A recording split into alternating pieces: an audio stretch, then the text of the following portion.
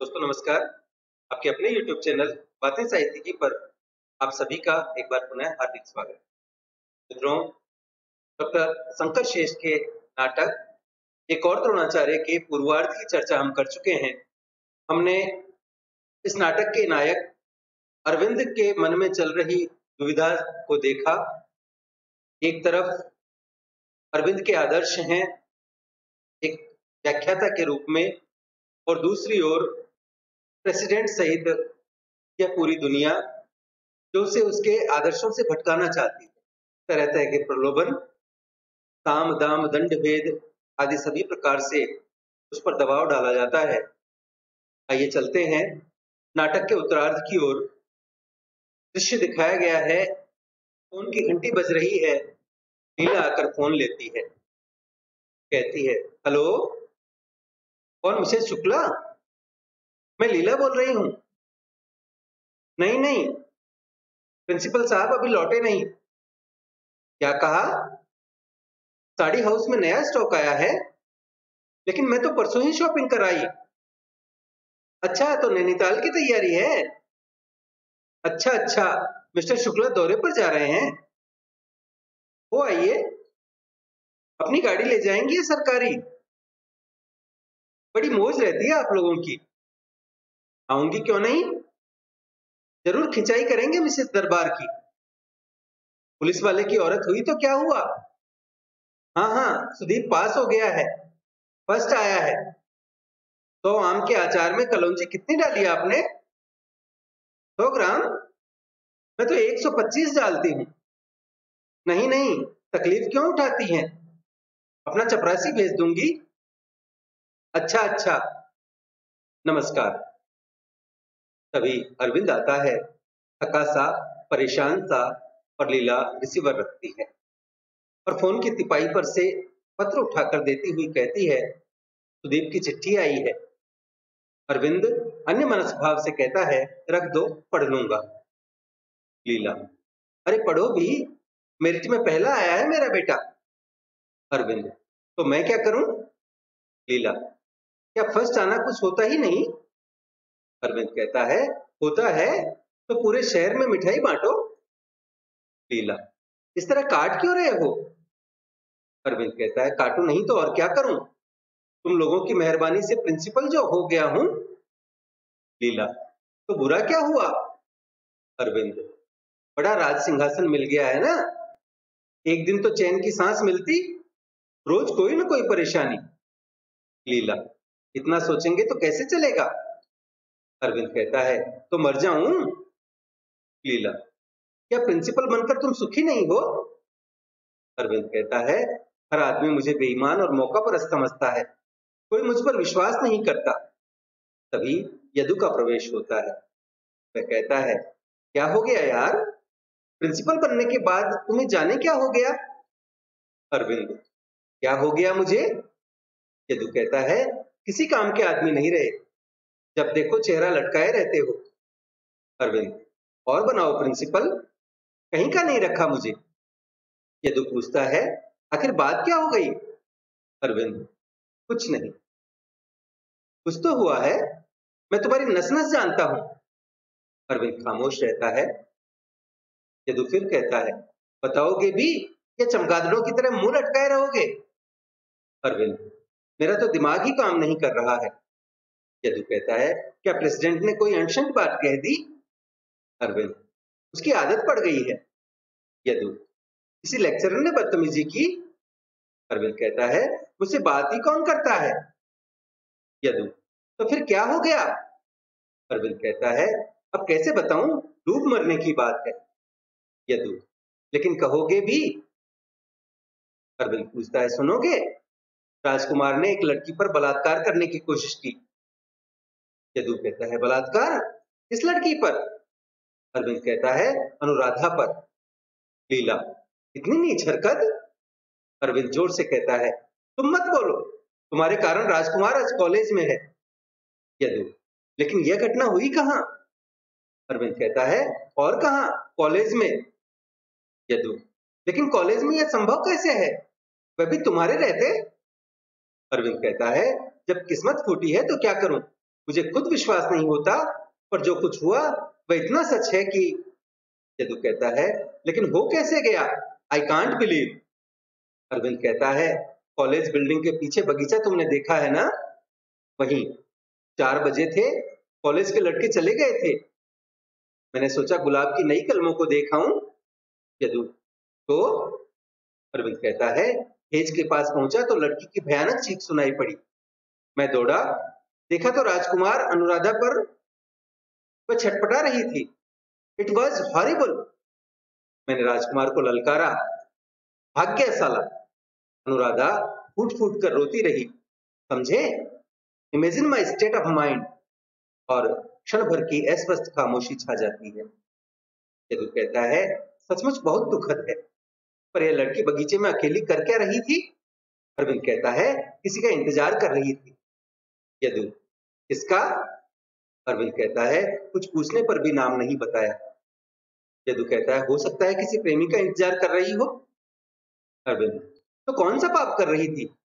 इसका मतलब यह तो नहीं होता कि उसे रेप कर दिया जाए। लीला कहती है, रोकोगे तो भी बोलूँगी। पूरी घटना के लिए तुम कहाँ जिम्मेदार हो? अरविंद कहता है, समझने की कोशिश क्यों नहीं करती? अगर मैं कठपुतली प्रिंसिपल न होता तो उस बदमाश की हिम्मत हो सकती थी। यदु कहता है, फिर भी तुम्हारा इसमें क्या दोष है? जिसने किया है, भुगतेगा? अरविंद कहता है you don't understand the tragedy इस घटना का अकेला गवाह मैं हूँ। कल अदालत बनकर भी मुझे ही बैठना है। यदु तो क्या उसने लिखित शिकायत की है? अरविंद कहता है, क्यों नहीं करेगी? और न भी करती तो क्या मुझे नामर्दों की तरह चुप बैठना चाहिए? लीला तो क्या मामला तूल पकड़ेगा? अरविंद कहता है, इस बार तो बवंडर होगा। बात कल तक पूरे विद्यार्थियों में फैल जाएगी। लड़के राजकुमार को कड़ी से कड़ी सजा देने के लिए कहेंगे। हो सकता है पुलिस केस बन जाए। अगर चंदू भी शहर में हुआ तो पिछली बार का बदला चुकाएगा। यदु लेकिन वह कॉलेज में कहा है? अरविंद। कॉलेज में न होने से क्या होता है? उसके साथी तो हैं। याद है इन लड़कों पर हमने पुलिस के डंडे बरसाए थे। उनके अगुआ लोगों को कॉलेज से निकाल दिया था। क्या वे चुप बैठ जाएँगे? मैंने सबसे सामने झूठ बोला था, क्या वे मुझे माफ़ कर देंगे? यदु कहता है, रिपोर्ट दबा दो, अरविंद। असंभव, पूरी घटना मेरे सामने हुई है। सब कुछ इतना सच और भयानक रूप से सच है कि मैं झूठ नहीं बोल पाऊँगा। लीला कहती है, लेकिन सच बोलने का मतलब जानते हो? अरविंद कहा, ना, तुम चुप रहो। मैं सोचता था तुम बलात्कार की बात सुनकर तिलमला जाओगी। राजकुमार को कठोर से कठोर सजा देने पर मुझे विवश कर दोगी। पर उल्टे तुम, क्या सुविधाओं ने तुम्हारी संवेदना को इतना मार डाला है? लीला कहती है, और प्रेसिडेंट ने तुम्हें नौकरी से निकाल दिया तब?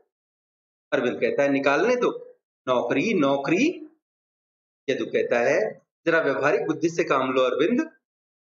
अरविंद कहता है, क्या खाक काम लो यदु उस लड़की को समझाओ। उससे कहो कि बात फैलेगी तो बदनामी भी उसकी ही होगी। तो बैठना ज़्यादा अच्छा है। अगर समझाने से काम चल जाता है तो बावेला मचाने से फ़ायदा? लीला कहती है, यदु भाई ठीक कहते हैं। तुम्हें भी झूठ नहीं बोलना पड़ेगा और संकट भी टल जाएगा। अरविंद, मैं कहता हूँ, तुम चुप रहो। और द्वार पर आहट होती है, प्रेसिडेंट आता है।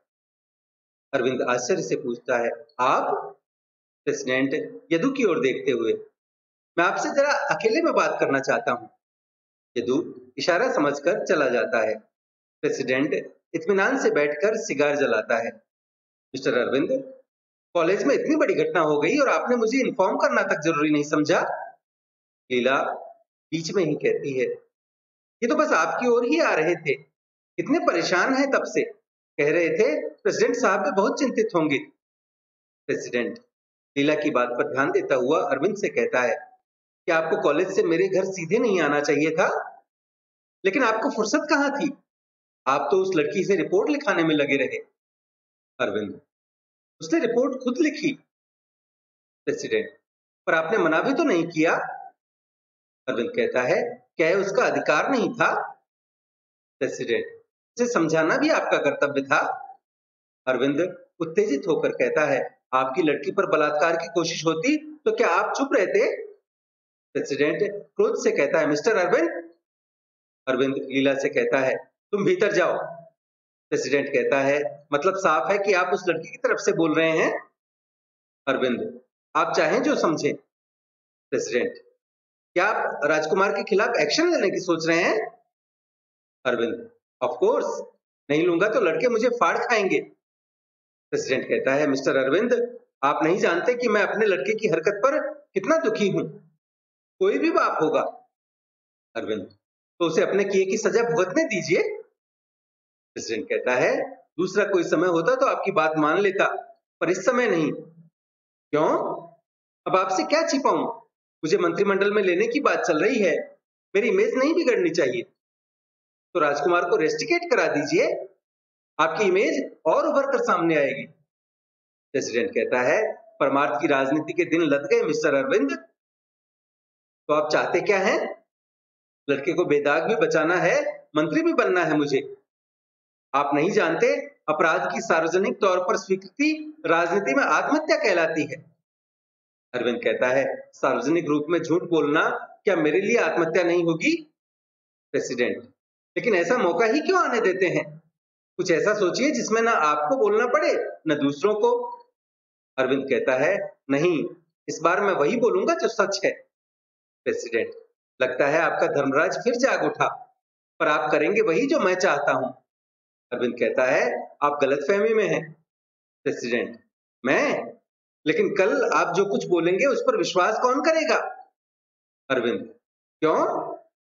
प्रेसिडेंट कहता है, क्योंकि तब तक आप पुलिस की हिरासत में होंगे। इसी समय लीला आती है।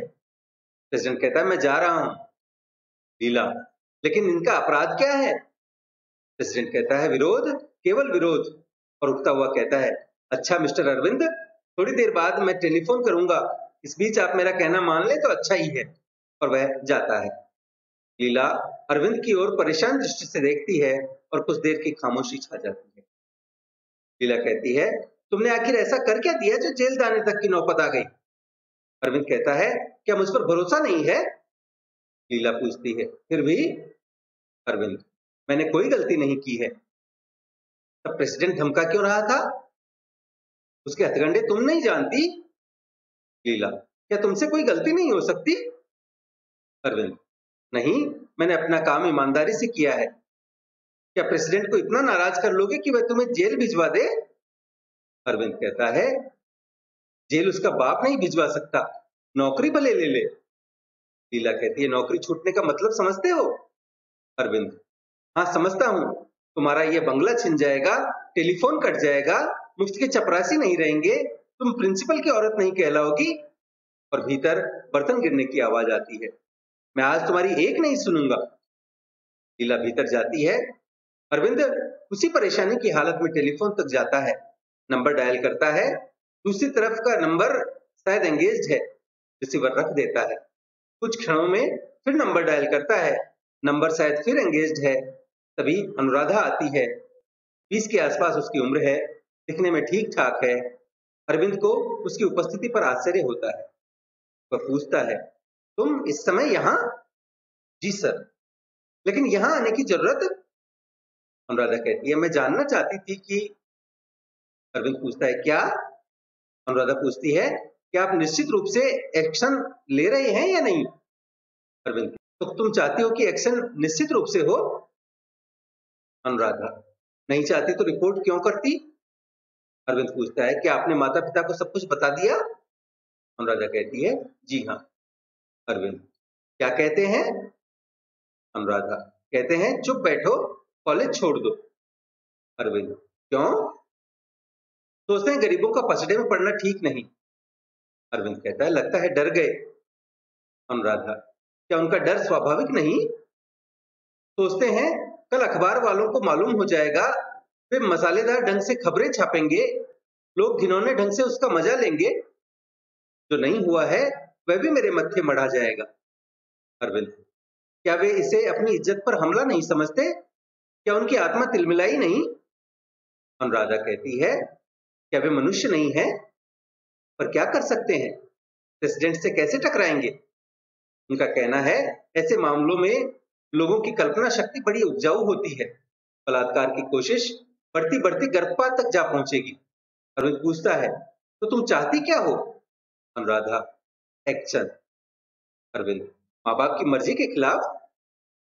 अनुराधा जी हाँ अपनी मर्ज़ी के खिलाफ जीकर क्या करूँगी? अरविंद, अकेली लड़ भी सकोगी? अनुराधा, क्या आप साथ नहीं देंगे? अरविंद जैसे चौंक कर कहता है हाँ हाँ दूँगा क्यों नहीं?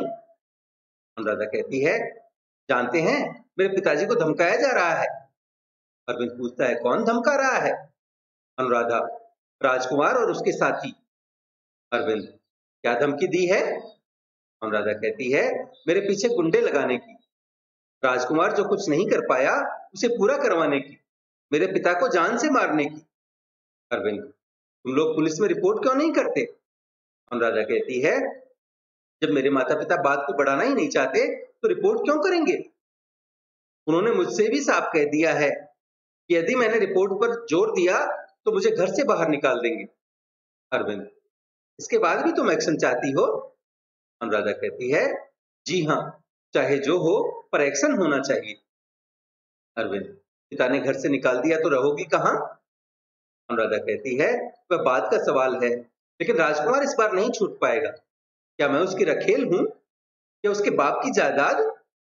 अरविंद कहता है, लेकिन बदनाम होने की बात तुम्हें अपनाएगा कौन? अनुराधा कहती है, सभी पुरुष नामर्द नहीं हो गए हैं, सर। मुझे अपनाने वाला भी कोई है। उसका प्रेम मुझे लड़ने की ताकत देगा। अरविंद कौन है वह? अनुराधा कहती है, वही जिसका मैं बगीचे में इंतज़ार कर रही थी। अरविंद पूछता है तो वह आया क्यों नहीं? अनुराधा नहीं आ पाया। एकाएक उसे शहर से बाहर जाना पड़ा। अगर वह आ जाता तो? अरविंद कहता है तो क्या कर लेता? अनुराधा राजकुमार के पेट की अंतड़ियाँ बाहर कर देता। अरविंद कहती है, तुम उसका नाम क्यों नहीं बताती? अनुराधा आपके काम का नहीं है वह नाम। अरविंद कहता है तो तुमने परिणामों को अच्छी तरह सोच लिया है? अनुराधा, जी हाँ वैसे मैं परिणामों का हिसाब किताब करने की उलझन में पढ़ना भी नहीं चाहती। अरविंद कहता है, ठीक है, मैं कल राजकुमार को कॉलेज से रेस्टिकेट कर दूँगा। अनुराधा, पर आपने सभी परिणामों का हिसाब किताब कर लिया है या नहीं? अरविंद, सोचती हो कि उसे रेस्टिकेट नहीं कर पाऊँगा? क्यों सोचती हो ऐसा? अनुराधा, क्योंकि तो आप कहते बहुत हैं, कर कुछ नहीं पाते। अरविंद कहता है, इसका मतलब तुम्हें मुझ पर भी भरोसा नहीं है? क्या तुमसे खुद मैंने रिपोर्ट नहीं लिखाई? क्या विरोध करने के लिए मैंने खुद नहीं कहा? अनुराधा, कहा ना, मुझे थोड़ा अचरज भी हुआ। अरविंद, लेकिन क्यों? अनुराधा कहती है, क्योंकि तो तीन साल पहले आपने चंदू से भी यही कहा था। चंदू ने आपके हर शब्द पर हमेशा वेद की तरह विश्वास किया, पर हुआ क्या? अरविंद, मैंने उससे कभी कुछ नहीं कहा था। अनुराधा कहती है, झूठ बोलते हैं आप। आपने उसका साथ देने का आश्वासन दिया था। आपके बूते पर वह लड़ गया, लेकिन लाठियाँ चली, उसे कॉलेज से निकाला गया और आपने प्रिंसिपल ही ले ली मुआवजे में। अरविंद कहता है, गलत आरोप लगाते हुए तुम्हें शर्म नहीं आती? प्रेसिडेंट तो चंदू पर मुकदमा चलाकर सजा कराना चाहता था, लेकिन मैंने बचाया उसे। अनुराधा कहती है, लेकिन आप मौके पर बदल गए थे। इस बात को हर लड़का जानता है। अरविंद। तो क्या तुम मुझ पर विश्वास नहीं करती? अनुराधा कहती है, करना चाहती हूँ, सर, पर मन बहुत डरता है। अगर आप बदल गए तो मैं कहीं की नहीं रहूँगी। मेरा विरोध एक मज़ाक बनकर रह जाएगा। लोग समझेंगे मैंने राजकुमार को फांसने के लिए साजिश की है। अरविंद कहता है, जरा सोचो अनुराधा, अगर तुम बदनामी का खतरा उठाकर भी लड़ सकती हो तो मैं पीछे क्यों हटूँगा? विश्वास करो, मैं तुम्हारा साथ दूँगा। चाहे मुझे नौकरी क्यों न देनी पड़े? अनुराधा कहती है तो मैं आपके शब्दों पर विश्वास करती हूँ। इस मामले में आप ही एकमात्र गवाह हैं। आप बदल गए तो मैं कहीं मुँह दिखाने लायक नहीं रहूँगी। और तो और, वह भी मुझसे घृणा करने लगेगा।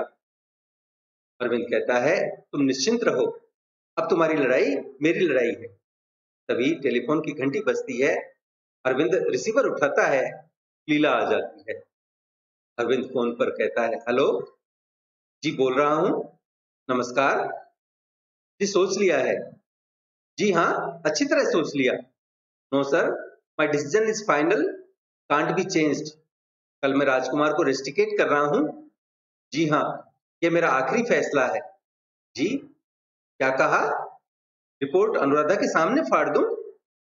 तो आप जानते हैं कि अनुराधा मेरे यहाँ है? क्या उसके पिता आपके यहाँ बैठे हैं? जी नहीं, मैं एक्शन लूँगा। जी। जी, क्या कहा? आप पुलिस को फ़ोन कर रहे हैं? पंद्रह हज़ार का गफला? लेकिन आप ही ने? तो क्या आप पुलिस को इन्फॉर्म कर रहे हैं? नो सर नो सर आप जैसा कहते हैं वैसा ही होगा। Sir yes sir yes sir yes sir Arvind phone रख देता है। घबराहट के कारण उसके माथे पर पसीना आ जाता है। लीला उसकी हालत देखकर कहती है। प्रेसिडेंट साहब क्या कह रहे थे? तुम इतना घबरा क्यों रहे हो? अरविंद अपनी घबराहट छिपाता हुआ कहता है, कोई खास बात नहीं है। कॉलेज के क्लर्क ने पंद्रह हज़ार रुपयों का गबन कर लिया। इसलिए पुलिस वगैरह अनुराधा, लेकिन आप तो ऐसे घबरा रहे हैं, सर, जैसे गबन आपने कर दिया हो अरविंद कहता है, आखिर कॉलेज का मामला तो है ही। अनुराधा, तुम्हारे पिताजी नहीं चाहते कि तुम रिपोर्ट करो अनुराधा कहती है, अब सवाल पिताजी के चाहने न चाहने का नहीं रहा। आप क्या चाहते हैं? अरविंद कहता है, मैं मैं सोचता हूँ कि तुम्हारे पिताजी ठीक कहते हैं। आखिर अनुभवी आदमी है। तुम्हारा भला बुरा वे जितना सोच सकते हैं, उतना शायद तुम भी नहीं, अनुराधा। लेकिन फ़ोन आने से पहले तो आप लीला कहती है, अनुराधा, मैं भी सोचती हूँ कि बात का बतंगड़ बनाने में कोई फ़ायदा नहीं। अनुराधा कहती है सर मैं आपसे अब साफ़ साफ़ ही पूछती हूँ, आप कल एक्शन लेंगे या नहीं? मेरी ओर से बोलेंगे या नहीं? अरविंद कहता है जरा सोचो तो। दोष अलग बात है। समझदारी से काम लो। रेस्टिकेट होने के बाद भी तो राजकुमार तुम्हें तंग कर सकता है। उसका क्या भरोसा? हो सकता है क्षमा उसका मन बदल दे, उसे सुधार दे। अनुराधा कहती है, आप बात को टाल क्यों रहे हैं? साफ़ साफ़ बताइए कि आप मेरा साथ दे रहे हैं या नहीं? अरविंद कहता है, तुम्हारे पिता का ख्याल करते हुए शायद मैं तुम्हारा साथ न दे पाऊँ। अनुराधा कहती है साफ़ साफ़ क्यों नहीं कहते कि अपनी नौकरी का ख्याल कर आप मेरा साथ नहीं दे पाएँगे? अरविंद कहता है, अनुराधा अनुराधा, चंदू ठीक कहता था, सर। अरविंद, क्या कहता था? अनुराधा कहती है, वह आपको बड़े बड़े निरर्थक शब्द थूकने वाला नपुंसक, बुद्धिवादी कहता था। आपने सचमुच मुझे कहीं का नहीं रखा। मेरे सब भ्रम टूट गए। अब आपको चिंता करने की ज़रूरत नहीं होगी। कल शायद कोई सवाल ही ना उठे और धीरे धीरे जाती है। एक लंबा, भयावह सन्नाटा छा जाता है। अरविंद माथा पकड़कर बैठ जाता है। लीला घबराहट के स्वर में पूछती है, क्या हो गया तुम्हें? अरविंद कटु हंसता हुआ कहता है, आत्मज्ञान आत्मज्ञान, बोधिसत्व से बोध। लीला कहती है, ठीक से बताती क्यों नहीं? अरविंद कहता है कह तो रहा हूँ, आत्मज्ञान हो गया है मुझे। अपने क्षुद्र होने का आत्मज्ञान, सड़े हुए आटे में बिलबिलाने वाला कीड़ा होने का आत्मज्ञान। प्रेसिडेंट के फ़ोन ने मुझे अपनी तस्वीर दिखा दी। समझौते के फंदे पर अपने आप को पच्चीसों बार लटकाने वाला मैं, दूसरों की नकाब उतारने की कोशिश में खुद नंगा हो जाने वाला मैं, मुझ पर थूको पच से थूको। लीला कहती है, आखिर आपको एकाएक हो क्या गया? अरविंद कहता है मुझे क्या हो सकता है? मेरी चमड़ी अब गेंडे की तरह मोटी हो गई है। मैं जानता हूँ कि सड़े गले मकान का मलबा गिरने वाला है। फिर भी आँखें मूंद कर अपनी रोटी खा रहा हूँ। सुनोगी? सुन भी सकोगी उस हरामी के बच्चे ने क्या कहा? मिस्टर अरविंद, आप पर पंद्रह हज़ार रुपयों के गबन का आरोप है। लीला, गबन? अरविंद हाँ ग्रांट के रुपयों का गबन। कल तक सब कुछ एडजस्टमेंट था, अंडरस्टैंडिंग थी। पर विरोध करते ही गबन हो गया। लीला कैसी अंडरस्टैंडिंग कैसा एडजस्टमेंट आखिर अरविंद उस कमीने आदमी ने दुकानों की तरह बीस शिक्षण संस्थाएँ खोल रखी हैं। साथ ही लेन देन का व्यापार करता है। शिक्षण संस्थाओं के लाखों रुपए ग्रांट का उपयोग वह शिक्षा शास्त्री अपने लेन देन के व्यवसाय में करता है। इस पूंजी से हज़ारों रुपए कमाकर कॉलेज को लौटा देता है। यह धंधा जाने कितने वर्षों से चलता रहा है। कभी कुछ नहीं हुआ। लीला कहती है तो तुम भी अरविंद हाँ मैं भी। नाली में गिरने के बाद दुर्गंध से कहीं बचाव है? पिछले हफ़्ते फर्नीचर के नाम पर ग्रांट के पंद्रह हज़ार रुपए इसने कॉलेज से उठाए। कल लौटाने वाला था, पर यह घटना हो गई। मैंने विरोध किया, इसलिए गबन, धोखाधड़ी, जालसाजी। लीला कहती है, इतनी निस्ता अरविंद कहता है, क्या करूँ लीला? उसने मेरी जीप छीन ली। पुलिस की हिरासत में होने के बाद मैं चीख चीख कर भी कहता कि इस हरामी के लड़के ने बलात्कार की कोशिश की। कौन विश्वास करता मेरी बात पर? लीला कहती है, अब लड़की का क्या होगा? अरविंद, अब क्या होगा? जब अदालत ने ही धोखा दे दिया तो वह क्या कर सकती है? तभी टेलीफोन की घंटी बजती है। अरविंद रिसीवर उठाता है। अरविंद कहता है, हेलो, क्या कहा? एक्सीडेंट? कैसा एक्सीडेंट? क्या हमारे कॉलेज की लड़की ट्रक के नीचे आ गई? क्या नाम था उसका? क्या कहा? अनुराधा?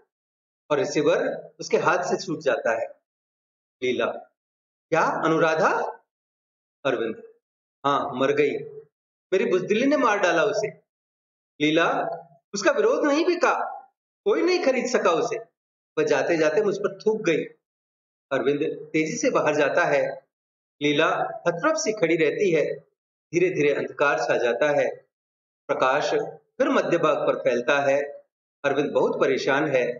सोफे के सामने रखी छोटी मेज पर कुछ लिख रहा है। चारों ओर सन्नाटा है। रहस्यमय संगीत बज रहा है और विमलेंदु की शरीराकृति उभरती है। विमलेंदु पूछता है, इस्तीफा लिख रहे हो क्या? अरविंद आश्चर्य से, तुम फिर आ गए? विमलेंदु मैं गया ही कहा था? इस्तीफा क्यों लिख रहे हो? अरविंद कहता है, तुम्हें क्या मतलब? विमलेंदु मेरे प्रश्न का उत्तर दो। अरविंद कहता है, सब जानते हुए क्यों पूछते हो? क्या ऐसी मनस्थिति में नौकरी करना संभव है? विमलेंदु तब क्या करोगे? अरविंद कहता है, अभी सोचा नहीं है। विमलेंदु नौकरी के अलावा तुम कर ही क्या सकते हो? हर बार तुमने नई नौकरी करने के लिए ही तो पुरानी नौकरी छोड़ी। फाड़कर फेंक दो अपना इस्तीफा। अरविंद, तुम ऐसा कहते हो? विमलेंदु हाँ मैं कहता हूँ। मैं भी तुम्हारी जगह होता तो इस्तीफा लिखता ज़रूर, पर थोड़ी देर बाद फाड़कर फेंक देता। अरविंद, यह जानते हुए भी कि एक निरपराध लड़की के खून की जिम्मेवारी मेरे सिर है? विमलेंदु हाँ क्योंकि तो तुम उस लड़की की आत्महत्या के लिए पूरे जिम्मेवार नहीं हो। अरविंद तो कौन है?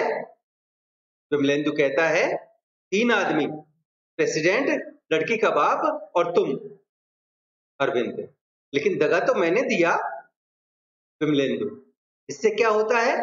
प्रेसिडेंट तुम्हें पुलिस की धमकी न देता तो क्या तुम अपना निर्णय बदलते? जानते हो, अनुराधा के बाप ने अपना विरोध पाँच हज़ार रुपए में बेच दिया था। लड़की को रातों रात दूसरे गाँव भेजने की योजना बन चुकी थी। प्रेसिडेंट ने सब इंतज़ाम कर रखे थे। इसलिए तुम नाहक पूरी जिम्मेवारी अपने ऊपर ओढ़ रहे हो। अरविंद कहता है, लेकिन मेरी आत्मा विमलेंदु आत्मा? और हँसते हुए कहता है, आत्मा क्या चीज़ होती है? केवल शरीर सत्य है। आत्मा वात्मा सब बकवास। जानते हो, मेरी जवान विधवा पत्नी? अरविंद पूछता है, क्या हो गया उसे? विमलेंदु जानते हुए भी पूछते हो? कुछ नहीं। छोटी सी नौकरी कर अपना पेट पाल रही है। बच्ची का पेट पाल रही है कभी कभार मेरी याद में रोती है, अरविंद। तो विमलेंदु, पर उसे लोग चैन से कहाँ रहने देते हैं? उसका एक नया अफसर आया है, साठ साल उम्र है उसकी, वह डोरी डाल रहा है मेरी पत्नी पर, प्रमोशन का लालच दे रहा है। अब बोलो, कहाँ है आत्मा? शरीर, केवल शरीर। अरविंद कहता है तो तुम कहना क्या चाहते हो? विमलेंदु, फाड़कर फेंक दो इस्तीफा। हार से नौकरी करो। अभी तक तुमने गबन नहीं किया, पर अब करो। प्रेसिडेंट का साथ दो, अरविंद। उस कमीने का विमलेंदु, उसे गाली मत दो। तुम्हारे लिए वह बड़े काम का आदमी है। जानते हो, वह एक दो दिनों में मंत्री बन रहा है। हो सकता है एजुकेशन उसके हाथ लग जाए। अरविंद पूछता है, इसमें क्या? विमलेंदु, क्या तुम्हारे लिए कुछ नहीं करेगा? कुछ तो करेगा। देखना, वह तुम्हें कुछ बनाकर रहेगा। उठाओ फाड़ दो अपना इस्तीफा। फाड़ो। अरविंद कहता है, नहीं, उस लड़की को मैंने दगा दिया है। मेरे कारण उसने आत्महत्या की है। मुझे अपने पाप का प्रायश्चित करने दो। विमलेंदु कहता है, प्रायश्चित ही करना है तो तुम भी आत्महत्या करो। लेकिन उसकी ज़रूरत नहीं। स्त्री का अपमान कोई नई बात नहीं। वह तो होता ही रहा है। क्या तुम्हारा द्रोणाचार्य कौरवों की दास्ता छोड़कर चला गया? क्या उसने तलवार उठाई? मेरा नाटक याद क्यों नहीं करते? द्रौपदी का सार्वजनिक रूप से अपमान हुआ। द्रोणाचार्य वहीं खड़ा था। वह चुप क्यों रहा? बोलो, चुप क्यों रहा? याद करो अपना नाटक, याद करो। और धीरे धीरे प्रकाश कम होता है, व्याकुल करने वाला संगीत छा जाता है, मंच पर कुछ ही क्षणों में प्रकाश हो जाता है। अश्वत्थामा एक छोटी सी चौकी पर बैठा है, उदास सा कृपी आती है, घर को हारने लगती है। अश्वत्थामा को सोच में देखती है, वह बैठा खींच रहा है। कृपी पूछती है, क्या सोच रहा है? अश्वत्थामा, कुछ नहीं। क्यों इतना सोचता है? इस उम्र में तुझे लोग दार्शनिक कहने लगे हैं। अश्वत्थामा पूछता है, माँ, पिताजी नहीं आए? आते होंगे? अश्वत्थामा कहता है, जानती है, आज सुबह पांडव राजधानी छोड़कर वनवास चले गए हैं। जानती हूँ। जानते हुए भी तू इतना ठंडा जवाब कैसे दे सकती है? तो क्या करूँ? चीखूं? अश्वत्थामा कहता है, दुख तो इसी बात का है कि कोई चीखता ही नहीं। सब चुप बैठे रहते हैं। तो तू चीख और वह जाने लगती है। अब क्या चीखूँगा? जब चीखना था तब तो चुप रहा। कायरों की तरह मेरा पिता भी चुप रहा। कृपी कहती है, और लोग भी तो चुप रहे। अश्वत्थामा औरों की बात मैं नहीं जानता, पर पिताजी क्यों चुप रहे? मैं सोचता था उनकी गर्जना से पूरी राज्यसभा काँप उठेगी दुर्योधन का खून जम जाएगा। पर तू क्यों चुप रहा? तू तो गरज सकता था। बहुत होता दुर्योधन के भाई तुझे मार डालते, पर तू क्यों चुप रहा? अश्वत्थामा, वही मैं भी सोच रहा हूँ। मेरे संस्कारों में ऐसी क्या गड़बड़ी थी जो मेरा खून गर्म नहीं हुआ? मेरे शब्द पुकार कर खड़े नहीं हुए। बताओ माँ, ऐसा क्यों नहीं हुआ? कहाँ गड़बड़ी है मेरे संस्कारों में? विपिन, यह प्रश्न तू मुझसे क्यों पूछ रहा है?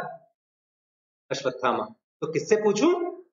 मुझे संस्कार किसने दिए? क्या तुमने पिताजी ने नहीं दिए? तब ऐसा क्यों हुआ? विपिन, अपने पिताजी से पूछ। तुम उत्तर क्यों नहीं देती? रजस्वला एक वस्त्रा द्रौपदी को दरबार में नंगा किया जा रहा था। फिर भी मैं चुप बैठा रहा। आकाश के टुकड़े टुकड़े कर देने वाली मर्म भेदी आवाज़ से वह पुरुष जाति को पुकार रही थी।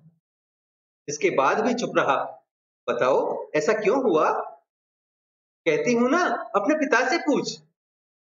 इसका मतलब है कि जानते हुए भी मेरे प्रश्न का उत्तर टाल रही हो। माँ, तुमने मुझे बचपन से विरोध करना क्यों नहीं सिखाया? अन्याय और अत्याचार को देखते ही अन्याय की गर्दन तोड़ देने की शिक्षा क्यों नहीं दी? लिपि कहती है, मैं नहीं जानती। अश्वत्थामा, सोचती क्यों नहीं? वनवास जाने से पहले पांडव पिताजी से मिलने क्यों नहीं आए? और तो और, उनका प्रिय शिष्य अर्जुन भी नहीं आया। क्यों? ऐसा क्यों हुआ? लिपि कहती है, मैं क्या कह सकती हूँ? नहीं आए, उनकी मर्ज़ी। अश्वत्थामा, नहीं बात इतनी आसान नहीं है माँ। कल की घटना के बाद वे पिताजी से घृणा करने लगे हैं। पिताजी उनके लिए अब आदरणीय नहीं रहे। द्रोणाचार्य आता है। अश्वत्थामा पूछता है, पिताजी, वनवास जाने से पहले पांडव आपसे मिलने क्यों नहीं आए? द्रोणाचार्य, क्यों आते? अश्वत्थामा, क्या वे आपके शिष्य नहीं है? द्रोणाचार्य कहता है, पर मैं उनका गुरु कहाँ रहा? अश्वत्थामा, संसार तो आपको महान आचार्य मानता है। द्रोणाचार्य। संसार को क्या नहीं मनवाया जा सकता? अश्वत्थामा कहता है, पिताजी, आप कल दरबार में चुप क्यों रहे? कल से यह प्रश्न मुझे नोच नोच कर खा रहा है। बताइए ना, आप चुप क्यों रहे? द्रोणाचार्य कहता है, क्या इस प्रश्न का उत्तर देना आप ज़रूरी है? हाँ पिताजी, जब द्रौपदी की पुकार किसी ने नहीं सुनी, तब वह आपके सामने आकर खड़ी हो गई थी। याद है उसने क्या कहा था? उसने कहा था, आचार्य आप तो न पांडवों के रक्त संबंधी है, न कौरवों के। आप आचार्य हैं दोनों के। क्या दुर्योधन आपका कहना नहीं मानेगा? आपको तो सत्ता का मोह नहीं है। क्या आप अपने शिष्यों की पत्नी को सार्वजनिक रूप से अपमानित होने देख सकते हैं? उठाइए अपना धनुष। पर आप चुप रहे। क्यों? द्रोणाचार्य कहता है, इस प्रश्न का उत्तर अपनी माँ से पूछो। अश्वत्थामा कहता है जब मैं माँ से पूछता हूँ तो वे कहती हैं, अपने पिता से पूछो, और अब आप माँ की ओर संकेत करते हैं। द्रोणाचार्य, जो जिम्मेवार है, उससे ही पहले पूछना चाहिए। कृपी कहती है, मैं जिम्मेवार हूँ तुम्हारी चुप्पी के लिए। तुम्हें कुछ लगता नहीं मुझ पर आरोप लगाते हुए? द्रोणाचार्य, जरा गहराई से सोचो, पिछली बातों के संदर्भ में सोचो। कृपी कहती है, अपना नपुंसक आचरण ढकने के लिए मुझ पर आरोप लगाते हुए तुम्हें थोड़ी भी लज्जा नहीं आती? मैं पूछती हूँ, तुम्हारा आचार्य तो कहाँ मर गया था? क्या वह केवल एकलव्य का अंगूठा कटवाने या सूतपुत्र कहकर कर्ण की अवहेलना करने तक सीमित था? तुमने अपने शिष्यों को रोका क्यों नहीं? क्या तुम्हारा उन पर कोई नैतिक अधिकार नहीं था? द्रोणाचार्य कहता है, आवेश कोई तर्क नहीं होता, कृपी, जरा अपनी ओर देखो। कृपी कहती है, क्या देखूँ? साहब क्यों नहीं कहते कि तुम्हें अपने शत्रु, द्रुपद की कन्या को अपमानित होते देखकर एक हिंसक आनंद मिल रहा था। द्रोणाचार्य कहता है, लेकिन वहाँ कृपाचार्य, विदुर और भीष्म भी तो थे। वे क्यों चुप रहे। इसके कारणों पर विचार क्यों नहीं करती? कृपी वे तो शिक्षक नहीं है, आचार्य नहीं है। तुमने चुप रहकर शिक्षक को अन्याय पीने की परंपरा दे दी। आने वाला इतिहास तुम्हें कोसेगा। अश्वत्थामा कहता है, माँ। कृति कहती है, चुप रह। तू क्यों नहीं बोला? जब दुर्योधन का भाई विकर्ण खड़ा होकर विरोध कर सकता था तो तू क्यों चुप रहा? तेरा अध्यात्म चिंतन, ब्रह्म ज्ञान सब ढोंग है। कहता क्यों नहीं कि द्रौपदी का खुला शरीर देखने की लालसा तुझे भी सता रही थी? द्रोणाचार्य कहता है, कृपी कृपी, चीखो मत। बहुत होता, कौरव मिलकर तुम दोनों पर हमला करते, तुम्हारा वध कर देते। उस अवस्था में मैं भी इतनी दुखी नहीं होती जितनी आज हूँ। द्रोणाचार्य, कृपी तुमने यही बात बीस वर्ष पहले क्यों नहीं कही? कृपी पूछती है तो क्या होता? द्रोणाचार्य तो संभवतः यह घटना ही नहीं होती। कृपी बीस वर्ष पहले मैंने ऐसा क्या किया? द्रोणाचार्य कहता है, याद करो, अश्वत्थामा तक छोटा था। तुमने मुझे द्रुपद के सामने हाथ फैलाने, भीख मांगने भेजा था। पीपी पर तुम उस समय दरिद्र भी तो थे। घर में दो मुट्ठी आटा भी कहाँ रहता था? द्रुपद के पास न भेजती तो क्या करती? द्रोणाचार्य, तुमने मुझे एक क्षण चैन से नहीं रहने दिया। दिन रात तुम्हें दारिद्र से शिकायत थी। मेरी धनुर्विद्या पर अभिमान का एक शब्द नहीं कहा तुमने। अश्वत्थामा, क्या यह सच है माँ? लिपि कहती है, उस दिन की याद क्यों नहीं करते जिस दिन मैंने दूध के नाम पर अश्वत्थामा को आटे का घोल पिलाया था? द्रोणाचार्य कहता है, वही दिन था। उसी दिन भूख मेरे सिद्धांत से बड़ी हो गई। प्रतिशोध ने विवेक को जीता। उस दिन तुमने मुझे भड़काया। उस दिन तुमने मुझे राजकीय अन्न की दास्ता में धकेला। तुम्हें अश्वत्थामा के लिए दूध चाहिए था। अपने लिए वस्त्र, राजकीय सम्मान। उस दिन तुमने रोका क्यों नहीं? मेरी हिचकिचाती आत्मा को शक्ति क्यों नहीं दी? क्यों मुझे सुविधा भोगी होने के लिए उकसाया? बोलो, मुझे राजकीय अन्न की दास्ता से समझौता करने पर किसने विवश किया? अश्वत्थामा कहता है, माँ, उस दिन तुमने आटे के घोल के बदले विष क्यों नहीं पिलाया? मुझे समझौते की संतान क्यों मनाया तुमने? पिताजी को ऋषि परंपरा से गिराकर राजपुत्रों की दास्ता में क्यों धकेला तुमने? द्रोणाचार्य कहता है, और उस राजकीय अन्न की दास्ता ने मेरा विवेक खरीदा, मेरी न्याय बुद्धि खरीदी। मुझे एकलव्य का अंगूठा कटाना पड़ा, मुझे कर्ण जैसे होनहार विद्यार्थी को व्यवस्था की आड़ लेकर ठुकराना पड़ा। पक्षपात क्षुद्रता ने मेरा स्वत्व छीन लिया। अश्वत्थामा, उस समझौते ने मुझे कभी सही आदमी नहीं बनने दिया। तब मैं सही आदमियों का कहाँ से निर्माण करता? कृपी कहती है, लेकिन राजकीय अन्न की दास्ता से मुक्त होने की कोशिश क्यों नहीं की तुमने? द्रोणाचार्य कहता है, नहीं कर पाया। उस दास्ता ने मुझे सुरक्षा दी, झूठी प्रतिष्ठा दी, सुविधाओं ने मेरी धार खोतरी कर दी। मेरे शरीर के उस आदमी को जगाया जो बदला लेता है, जो अपने अहंकार को संसार से बड़ा मानता है। द्रुपद से बदला लेने के लिए मैंने अपने विद्यार्थियों को युद्ध का अनुवाद दिया। उनका उपयोग अपने स्वार्थ के लिए किया। मैं हर दिन छोटा आदमी होता गया। अश्वत्थामा कहता है, पिताजी, अब इस राजकीय दास्ता को छोड़ क्यों नहीं देते? जो कुछ न्याय है, सत्य है, उसका पक्ष क्यों नहीं लेते? द्रोणाचार्य कहते हैं नहीं बेटे, अब यह संभव नहीं है। बहुत देर हो गई है। अब मुझे उसका ही साथ देना होगा, जो मुझे अन्न देता है, वस्त्र देता है। अब इस अवस्था में परिवर्तन संभव नहीं। अश्वत्थामा कहता है, द्रौपदी के इस अपमान के परिणाम क्या होंगे पिताजी? द्रोणाचार्य कहते हैं, युद्ध, सर्वनाश, मेरी दी हुई विद्या सहस्रों बलिदान लेगी, क्योंकि मैंने केवल शस्त्र चलाने की शिक्षा दी है। मैंने उसके आगे ऐसा कुछ नहीं सिखाया है। जो मनुष्य को मनुष्य बनाता है। अश्वत्थामा, मुझे जलता हुआ भविष्य दिखाई दे रहा है। मुझे दिशाओं को बहरा बनाने वाला युद्ध का कोलाहल सुनाई पड़ रहा है। मुझे अपने विद्यार्थियों के शब्द दिखाई दे रहे हैं। अपने दारिद्र से बदला लेने की मेरी हिंसक भावना मुझे भी ग्रस्त रही है। धीरे धीरे अंधकार होता है, जेल की कोठरी का आभास होता है स्पॉट केवल अरविंद पर पड़ता है। दाढ़ी बड़ी हुई है जर्जर शरीर है धीरे धीरे विमलेंदु की शरीराकृति उभरती है। मित्रों, आज के लिए इतना ही। विमलेंदु और अरविंद की बातचीत को हम अगले वीडियो में देखेंगे। तब तक के लिए, यदि आपको हमारा यह प्रयास अच्छा लगा हो तो कृपया वीडियो को लाइक करें, अपने मित्रों के साथ साझा करें। पीडीएफ तथा अन्य सहायता के लिए हमसे टेलीग्राम पर जुड़ें। यदि आपने बातें साहित्य के चैनल को अभी तक सब्सक्राइब नहीं किया है तो कृपया सब्सक्राइब करें।